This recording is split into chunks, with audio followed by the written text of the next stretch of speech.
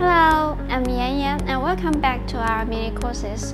Today I'm going to introduce the System Memory Management Unit and its software and hardware optimizations.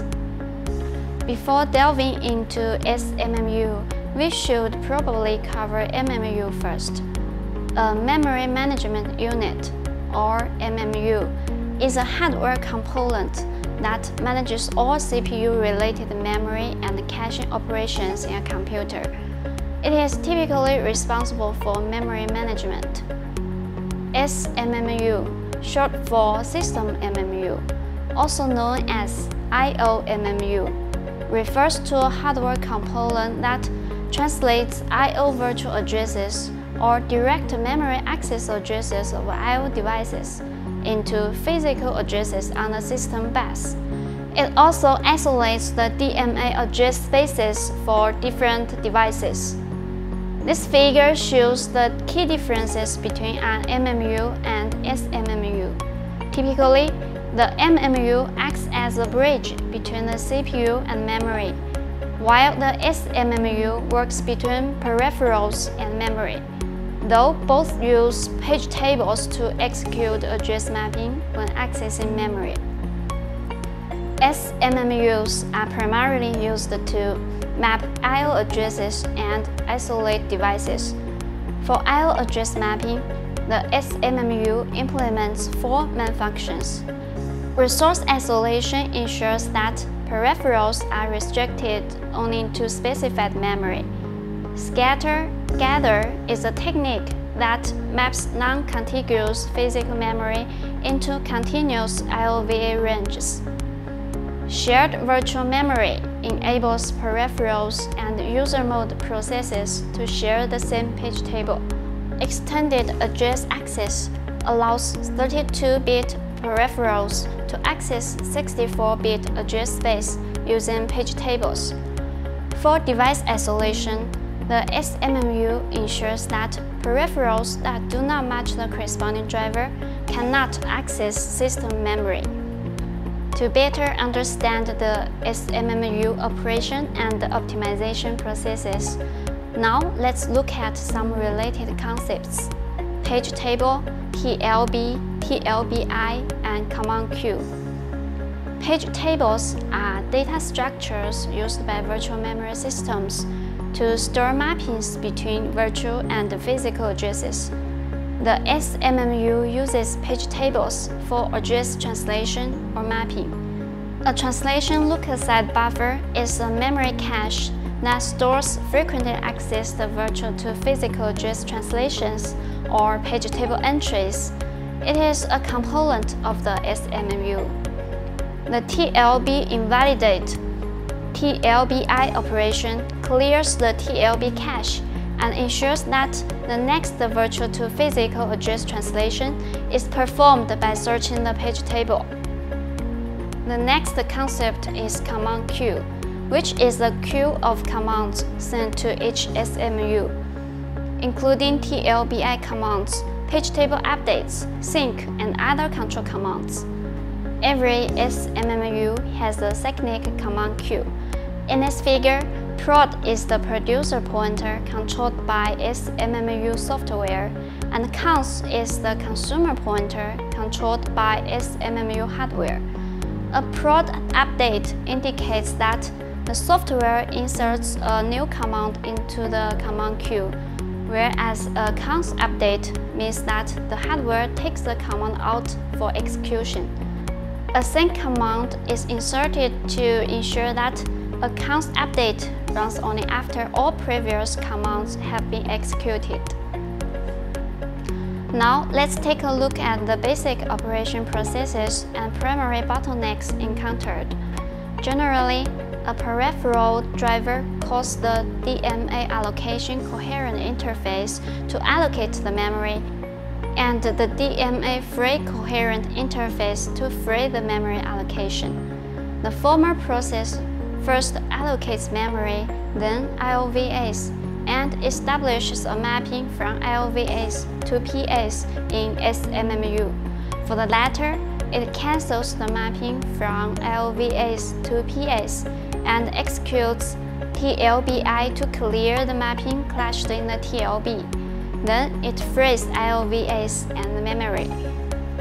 The main bottlenecks lie in insertion and execution of TLBI plus sync commands and IOVA operations. Next, we will look at the various methods used on SMMU software or driver and hardware to resolve such bottlenecks. Let's start with SMMU software optimization. One way to optimize the sync command is to move the process of waiting for command completion outside of lock protection. This can help to reduce lock conflicts and improve overall performance. In message signal interrupt mode, the hardware writes the MSI data value to the MSI address each time a sync command is executed. The optimization applied here it enables all sync commands to share the same MSI address and the MSI data value increases monotonically each time. Because the commands are executed in sequence, the larger MSI data value will overwrite the smaller value. In this case, each CPU core can determine whether a command execution is complete by comparing the value read from MSI address and the MSI data value of its own sync command. This is the optimization effect, with SMMU performance recorded at 25% before and 36% after this change, an 11% increase. Even with the preceding optimization, you may encounter a situation in which two back-to-back -back sync commands are concurrently inserted by two cores, simultaneously along with two TLBI commands. Since just one sync command is required in each command queue, the second sync command needs to be removed. The right figure shows the optimization effect. Here, the performance is not tested. Instead, we can see how many conflicting sync commands are reduced. According to the statistics, one-third of sync commands can be reduced in stress tests. Another method for software optimization is concurrent command insertion. Typically, CPU cores write commands to the command queue space one by one and in sequence. Core B can write its commands only after Core A finishes.